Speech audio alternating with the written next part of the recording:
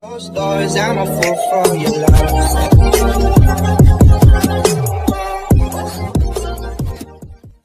Doggy, pinakilala na ang magiging ina ng kanyang anak.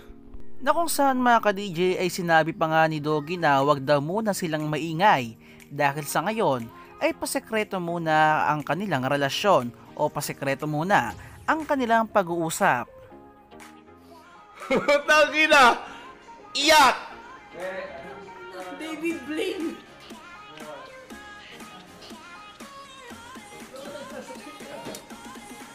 Paano na nalaman yun? Mag-gusto tayo mamaya gusto tayo ng museli. Ang galing!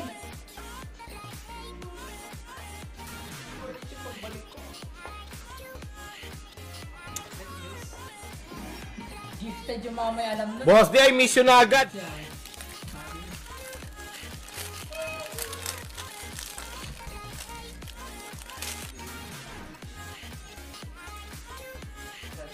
Ganun lang, guys. Simple lang natin.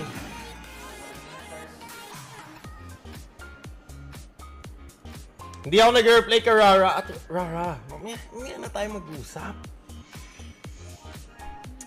Alam mo naman, yung sa atin, patago pa muna. Huwag kang mano. Sana show na lang ako. Tangina mo! Yan ka babalik dito. Guys, si Yawen nakahanap na ang bagong team.